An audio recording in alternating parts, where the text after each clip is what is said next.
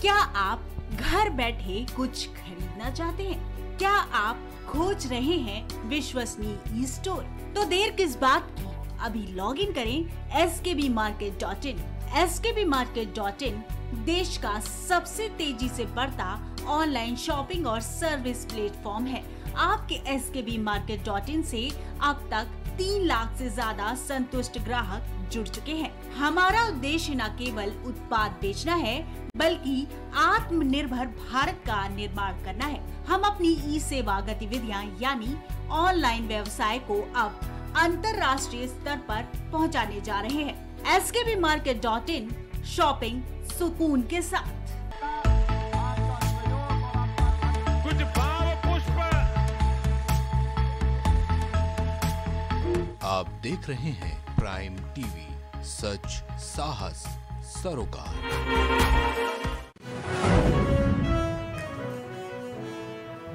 तेजस्वी यादव को लगा बड़ा झटका लैंड फॉर जॉब स्कैम। मामले में जल्द होगी सुनवाई। 25 मार्च को सीबीआई दफ्तर जाएँगे तेजस्वी।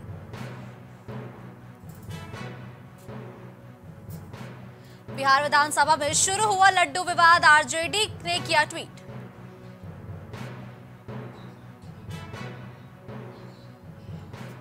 मोतिहारी में single window operator multipurpose assistant हड़ताल पर कार्यालय में कार्य हुआ बाधित। मुजफ्फरपुर में उत, उत्पाद टीम को मिली बड़ी सफलता भारी मात्रा में मिला प्रतिबंधित कप सिरप।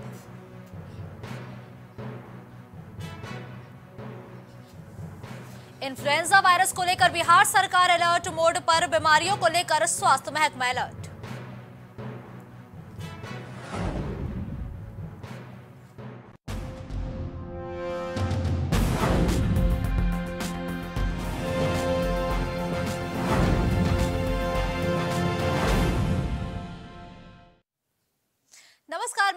अजमानी और आप देख रहे हैं प्राइम टीवी खबर बिहार से है, जहाँ अब विधानसभा बिहार की कुश्ती का अखाड़ा बनती जा रही है। विधानसभा में एक के बाद एक विवाद, कभी माइक तोड़ना तो कभी एक दूसरे पर कुर्सी से वार, ये बात जरा आम हो चुकी है और अब जो विवाद शुरू हुआ है, वो है लड्डू को लेकर।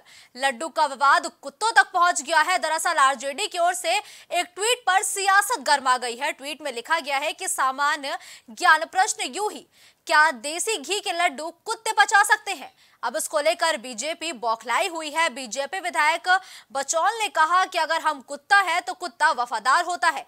उन्होंने आरजेडी पर तंज कसते हुए कहा कि जो चोर होते हैं, वही भोगते हैं। वही आरजेडी के विधायक भाई वीरेंद्र ने कहा कि हमें इस बात की जानकारी नहीं है, लेकिन देश को लूटने का काम गोरे गोरे गाल और उजले दाढ़ी वालों ने किया है। कुल मिलाकर आरोप प्रत्यारोप का दौर लगातार जारी है और राजनीति की उठापटक भी लगातार बिहार में अब बढ़ती जा रही है। तो यह आप ट्वीट भी देख सकते हैं जो आरजेडी द्वारा किया गया है। इस खबर पर ज़्यादा जानकारी के साथ हमारे साथ विवेक पांडे जुड़ चुके हैं। विवेक, आरजेडी ने एक ट्वीट किया है जिससे एक बार फिर से भाजपा बौखलाई गई है। आखिर क्या है ये लड्डू ट्वीट? जी, बिल्कुल, जिस तरीके से लड्डू के लेकर जो बिहार में सियासत तेज हो गई है, एक तरफ़ जो लालू प्रसाद यादव को जो जमानत मिली थी, उसके बाद जो आरजेडी कुनबे में खुशी का लहर था, उन्होंने देसी लड्डू जो कही जाए तो लड्डू का घी का लड्डू बनाकर और जो बाहर में जो बीजेपी के जो तमाम जो विधायक प्रदर्शन कर रहे थे, उस दरमियान उन्होंने विधायकों को लड्डू खिलाने के लिए आए। उसी दरमियान जो बीजेपी के विधायक थे हरिभूषण ठाकुर बचौल ने, उन्होंने लड्डू को भरे हुए प्लेट में लड्डू को फेंक दिए। उसके बाद जो सियासत है, सियासत तेज हो गई। अभी जो है, भाई वीरेंद्र एक तरफ़ जो है, आरोप लगा रहे कि जो लड्डू को लेकर हम लोग पे जहरीली जो जहरीली जो लड्डू का आरोप लगाई जा रही है हम लोग पे। तो हम लोग तो साफ़ तौर पे कहा कि भाई ये जो लड्डू है लड्डू का तो आप तो खा कर तो देखिए जहरीली है या क्या है दे। एक तरफ़ जो आप लोग देश के जो लूटने का काम कर रहे हैं जो पर उनका जो सीधा निशाना था प्रधानमंत्री नरेंद्र मोदी पर था कि तो आप लोग जो दे, देश को लूटने के जो साजिश कर रहे हैं ये लोग तो हम लोग होने नहीं देंगे।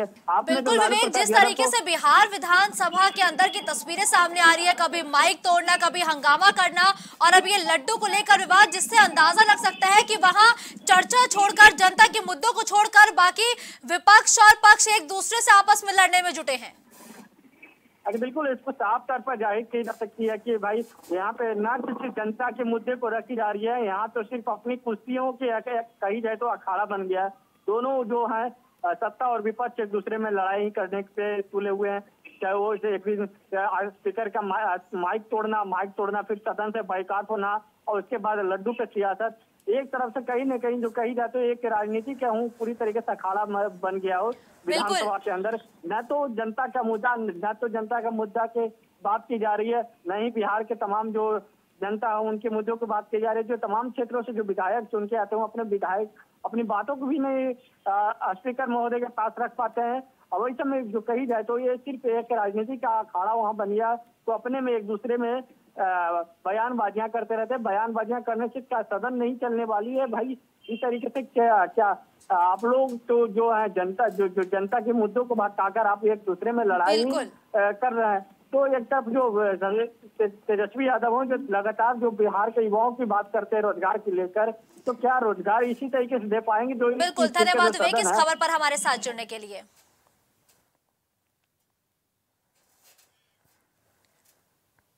वहीं लैंड फॉर जॉब स्कैम मामले में दिल्ली हाईकोर्ट से तेजस्वी यादव को एक बड़ा झटका लगा है। कोर्ट ने तेजस्वी की सीबीआई के समन को वाली याचिका खारिज कर दिया है। कहा है कि तेजस्वी को 25 मार्च को सीबीआई दफ्तर जाना ही होगा। सुनवाई के दौरान तेजस्वी के वकील ने दिल्ली हाईकोर्ट में कहा कि अगर तेजस्वी एजेंसी के सामने पेश होंगे तो उन्हें गिरफ़्तार कर लिया जाएगा। इसके बाद सीबीआई ने अदालत से कहा कि हमारा उन्हें गिरफ़्तार करने का इरादा नहीं है। हम चाहते हैं कि वो पेश हो क्योंकि उन्हें कुछ दस्तावेज़ दिखाने हैं। अगर वो वीडियो कॉन्फ्रेंसिंग के ज़रिए पेश होते हैं तो उससे कोई फ़ायदा नहीं होगा। सीबीआई को? किसको है? या हम चैलेंज देना चाहते हैं? वो न्यूज़ चैनल जो सूत्र के हवाले से, जो न्यूज़ परोसते हैं। उनसे हम पूछना चाहते हैं।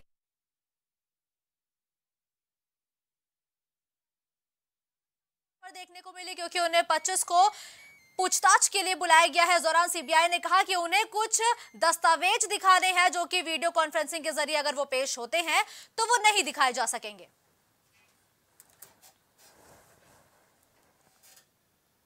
वहीं इन्फ्लुएंजा वायरस को लेकर बिहार सरकार भी अलर्ट मोड पर है। सभी स्वास्थ्य विभाग को अलर्ट मोड पर रहने के दिशा निर्देश जारी किए गए हैं, जिसको लेकर स्वास्थ्य विभाग भी अब तैयारियों में जुट गया है। आपको बता दें कि अभी एक भी संक्रमित मरीज़ फ़िलहाल नहीं मिला है, लेकिन स्वास्थ्य विभाग ने एक एडवाइजरी जारी की है और डॉक्टरों से कहा है कि वो इन्फ्लुएंजा जैसे बीमारी वाले अस्पतालों में आने वाले मरीजों पर अब नज़र भी रखें।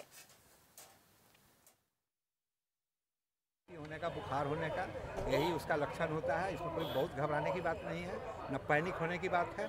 आप लोगों के माध्यम से भी मैं चाहूँगा कि आप लोग पैनिक की स्थिति के लिए कहीं भी नहीं बनने दें। और ये बहुत ही है सब जगह तैयारी है, मेडिकल कॉलेज में भी उसके लिए बेड सुरक्षित है। 20 बेड हम यहाँ सदर में भी सुरक्षित रखे हुए हैं। इलाज इसका कोई स्पेसिफिक नहीं है। पैरासीटामोल एंटी एलर्जिक इसका दवा है। इसलिए बहुत कुछ घबराने की बात नहीं है, लेकिन अलर्ट रहने की ज़रूरत है और बचाव करने की ज़रूरत है। कि छींकने से सांस से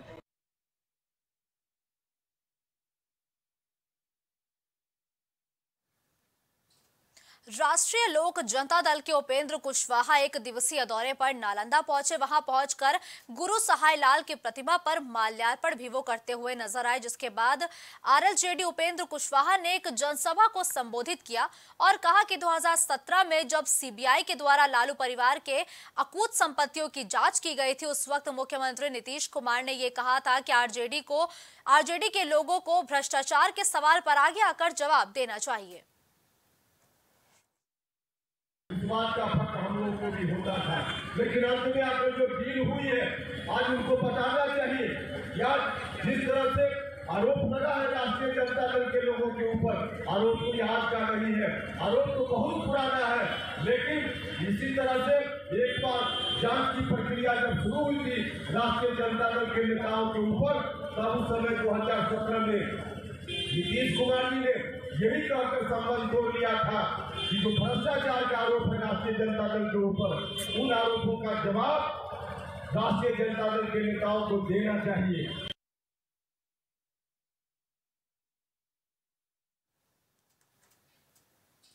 एक और जहाँ सरकार गरीब लोगों तक सरकारी आवास उपलब्ध करवाना चाहती है ताकि लोगों को पक्की छत मिल सके और वही कुछ अधिकारी मिली भगत से मोटी रकम लेकर लाभार्थियों को इस योजना से दूर कर रहे हैं।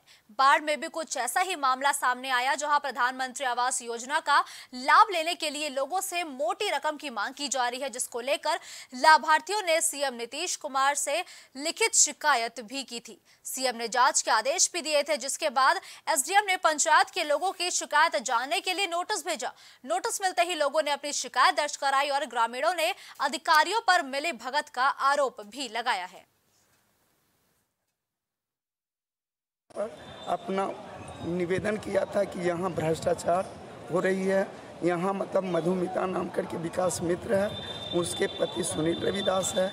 उनके मतलब ससुर राजो रविदास है। सारा का सारा वहाँ लूटपाट मचाए हुए हैं। तीस से चालीस हज़ार रुपया ले लेते हैं। पहले भी ले लेते थे मतलब कि सोची पहले भी ले लेते। हैं उसके लिए पी साहब उनके घर पर लगा करके पैसा वही करवाते हैं। पहले पैसा दे देव तब देबो न त नहीं। तो हम कहलिए नहीं देबो नहीं दी हैं। क्या चीज़ नहीं देबो? घर। कॉलोनी वाला। हाँ। बल पैसा दे मैं आधो तक देबो आ न तो नहीं देबो तो एकरा से बढ़िया देबे नहीं करबो नहीं दे। पहले पैसा मांग। हाँ। पहले लेता है सर हाँ, तो कहाँ से देबे हम गरीब आदमी कहाँ से देबे? हमारे पच्चीस की रेंज देते थे और हम कितना पैसा हो गए? तीन चार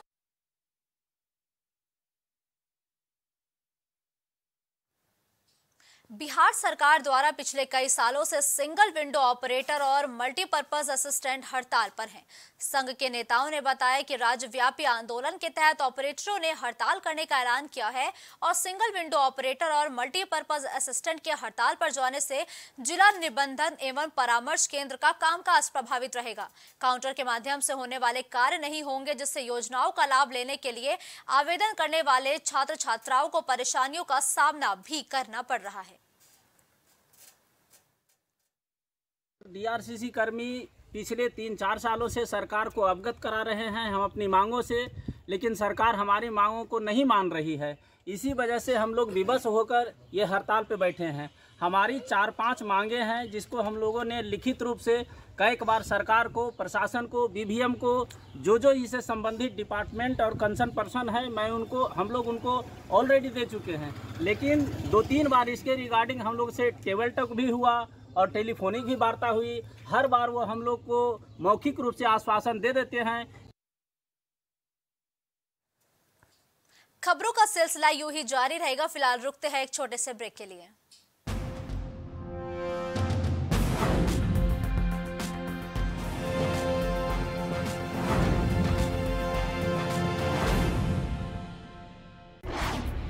क्या आप घर बैठे कुछ खरीदना चाहते हैं? क्या आप खोज रहे हैं विश्वसनीय ई स्टोर तो देर किस बात की?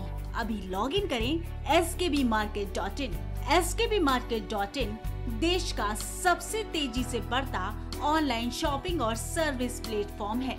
आपके S K B market dot इन ऐसी अब तक तीन लाख से ज़्यादा संतुष्ट ग्राहक जुड़ चुके हैं। हमारा उद्देश्य न केवल उत्पाद बेचना है, बल्कि आत्मनिर्भर भारत का निर्माण करना है। हम अपनी ई सेवा गतिविधियाँ, यानी ऑनलाइन व्यवसाय को अब अंतर्राष्ट्रीय स्तर पर पहुँचाने जा रहे हैं। S K B market dot in shopping सुकून के साथ। सियासी दिग्गजों से जानेंगे राजनीतिक दाव पेज अफसर शाहों से मिलेगी अंदर की जानकारी।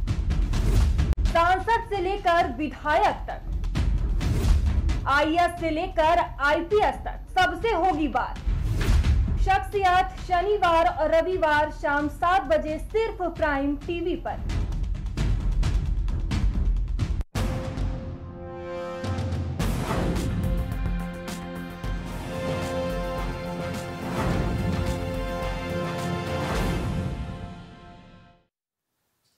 ब्रेक के बाद एक, एक बार फिर आप सभी का स्वागत है और आप देख रहे हैं प्राइम टीवी। अब खबर मुजफ्फरपुर से है जहाँ उत्पाद टीम को एक बड़ी सफलता मिली है। एक पिकअप से भारी मात्रा में प्रतिबंधित कफ सिरप को पकड़ा गया है और इसके साथ ही मौके से दो लोगों को हिरासत में भी लिया गया है। साथ ही एक अन्य धंधेबाज को पुलिस ने गिरफ़्तार भी किया है।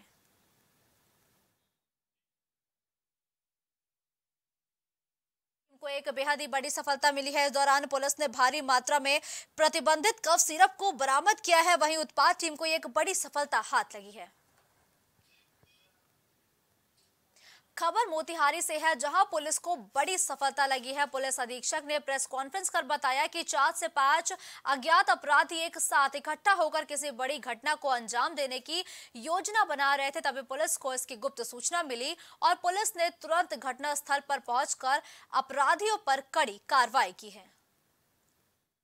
अपराध प्रेमी कुणाल सिंह अपनी कुड़िया घर पर अवैध, स्वचालित अग्नास्त्रों एवं चार पाँच अज्ञात अपराध कर्मियों के साथ इकट्ठा होकर एक बड़े अपराध को घटना के अंजाम दे सकता है।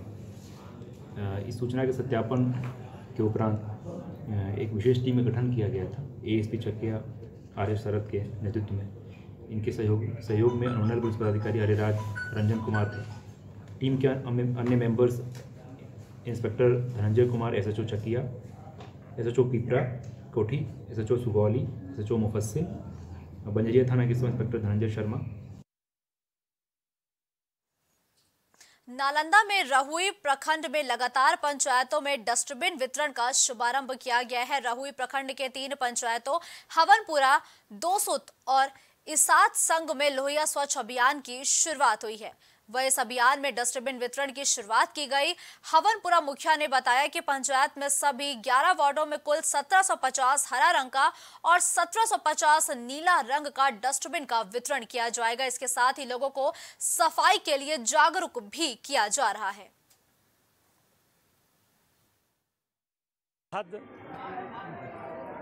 ठेला, टोटो रिक्शा, डस्टबिन की वितरण का कार्यक्रम था। ग्राम पंचायत राज हवनपुरा में आज से शुरुआत किया गया है।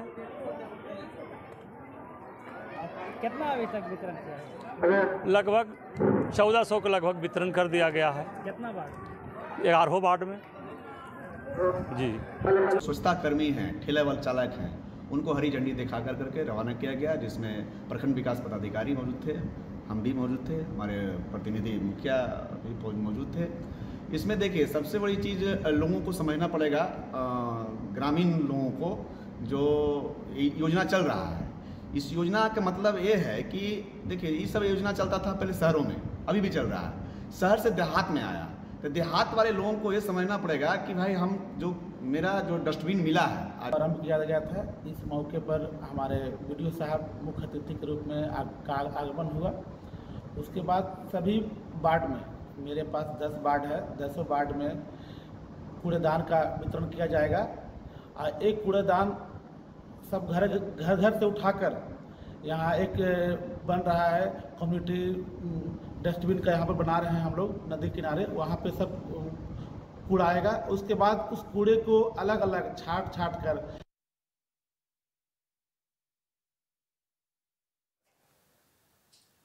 एक और जहाँ सरकार महिलाओं की सुरक्षा को लेकर ना जाने कितनी योजनाएँ चला रही है, लेकिन महिलाएँ अभी भी असुरक्षित ही महसूस कर रही हैं, चाहे वो घर में हो या फिर बाहर। महिला उत्पीड़न की घटनाएँ लगातार बढ़ रही हैं। एक ऐसा ही मामला भागलपुर से सामने आया, जहाँ महिला के पति ने अपनी पत्नी के साथ बुरा व्यवहार किया। महिला को घर से बेघर कर दिया और इतना ही नहीं, महिला के साथ मारपीट भी की है। आपको बता दें कि महिला का पति अपनी पत्नी से पाँच लाख की डिमांड कर रहा था। डिमांड पूरी नहीं होने होने से महिला को घर से बेघर कर दिया गया। हर वक्त सामान पैसा माँगता रहता है। दीजिए और मेरी बेटी को देखना नहीं चाहता है। हर वक्त मारपीट। हमेशा? हमेशा। जब से गई है कभी खुश नहीं रही हो अच्छा, अच्छा से नहीं रखा उसको। हमेशा मारपीट। सिर्फ़ मारपीट? हाँ। अंकल बोल रहे थे कि उनका किन्हीं के साथ नाजायज संबंध हाँ, भी है। है उसकी भाभी के साथ है। तो इसी कारण भी मारपीट करता हो? हाँ। मेरा शादी हुआ तो हमको पता नहीं था कुछ। उसके भाभी के साथ उसका नाजायज संबंध था इसकी वजह से हमको मारपीट करता था। हरदम भगाते रहता था पैसा मांगने के लिए घर में बोलता था। इस बार क्या बोल के भेजा था? कितना पैसा का डिमांड किया था? इस बार मार के भगा दिया उस निकलो घर से यहाँ यहाँ नहीं रहोगी मारपीट करके हमको भगा दिया। थाना में दिए इनके लिखित शिकायत? कभी दस हज़ार का दस लाख बीस हज़ार इस बार मांग लिया पाँच लाख। हम कहाँ देंगे गरीब कहाँ पे आप अपनी बेटी का शादी किए मिर्ज़ा चौकी बाबूपुर में। क्या नाम है लड़के का? लड़का का नाम है मोहम्मद हसनैन। ये मतलब क्या उनका पेशा ही है ये सब करना क्या? अब पेशा है या नहीं है लेकिन हमेशा यही हमारे साथ तो यही कर रहा है और थोड़ा सा है ना मारपीट करता था उसके बाद थोड़ा सा उसका संबंध जो है ना उसकी एक मुसमात भाभी है उसके साथ नाजायज संबंध है।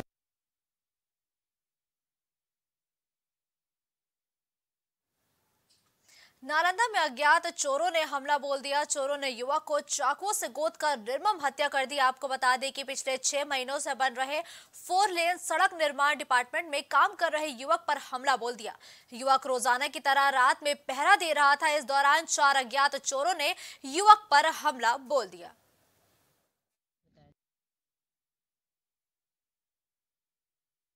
ग्रामीणों का मांग है कि जो मुआवजा मिलता है वो मिल जाए। उसके लिए बात की गई है। और अभी जो संतावना पुरस्कार है संतावना राशि है जो दिया गया है कैसे हत्या हुई है गार्ड की मैडम? ये अभी तो वो जाँच होगी उसके बाद ना ऐसे कहा जा रहा है लोगों के द्वारा कहा जा रहा है चाकू के द्वारा। लेकिन अभी जाँच होगा पोस्टमार्टम रिपोर्ट आएगा उसके बाद ही बताया जाएगा। ग्रामीणों का मांग है कि जो मुआवजा मिलता है वो मिल जाए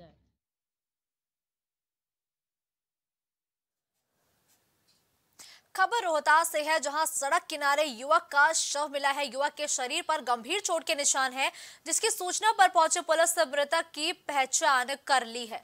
घटना की सूचना पाकर परिजन मौके पर पहुँचे। मृतक के परिजनों और स्थानीय लोगों ने सड़क को जाम कर पुलिस के खिलाफ नारेबाजी करते हुए विरोध प्रदर्शन किया और आग आगजनी भी की, जिसके बाद घटनास्थल पर पहुँचे पुलिस ने परिजनों और स्थानीय लोगों को समझा बुझाकर जाम खुलवाया और पुलिस ने मृतक युवक की डेड बॉडी को कब्जे में लेकर पंचनामा करते हुए पोस्टमार्टम के लिए भेज दिया है और अब आगे की कार्रवाई में भी जुट गई है।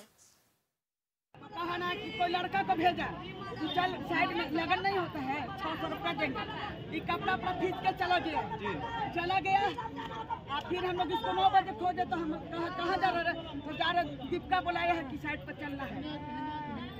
बाबू का हम लोग दस बजे रात तक खोजे बाबू हम लोग को नहीं पता लगा। अभी दूध ला रहा था पता नहीं कि तुम्हारा नाती वहाँ पड़ा हुआ है क्या नाम है लड़का का? लड़का का नाम?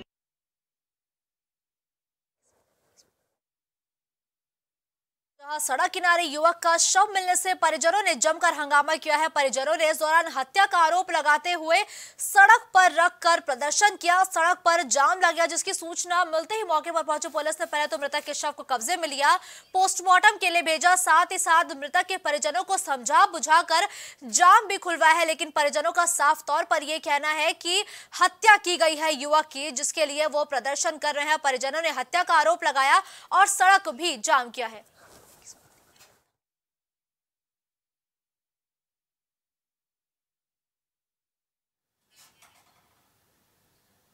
तो बीजेपी सांसद रविशंकर प्रसाद प्रेस कॉन्फ्रेंस कर रहे हैं। तो चलिए सीधा आपको दिखाते हैं प्रेस कॉन्फ्रेंस में वो राहुल गांधी पर क्या कुछ बयान देते हुए नज़र आ रहे हैं, क्योंकि राहुल गांधी ने प्रेस कॉन्फ्रेंस की थी। 140 crore people of India Indian democracy यह बड़े सवाल ना।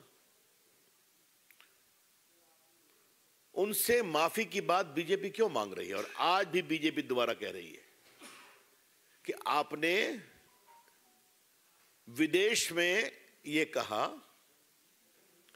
कि अमेरिका और यूरोप को भारत के लोकतंत्र की गिरावट पर नोटिस लेना चाहिए। मतलब हस्तक्षेप करना चाहिए। आपको याद होगा कि जब मैंने प्रेस की थी तो कांग्रेस के मित्रों ने मुझको क्या हमला नहीं किया था। नेक्स्ट डे उन्होंने क्लैरिफाई किया था कोई स्टेटमेंट तो हमारे बीजेपी के मीडिया सेल ने उनका ओरिजिनल भाषण जो था, उसको लगा दिया। और जो मैंने यहाँ आप लोग को बोला था वो भी लगा दिया। उसके बाद कांग्रेसी खामोश हो गए। राहुल गांधी की आदत हो गई है, विदेश जाएँगे तो भारत के लोकतंत्र, भारत की जनता 140 करोड़ की भावना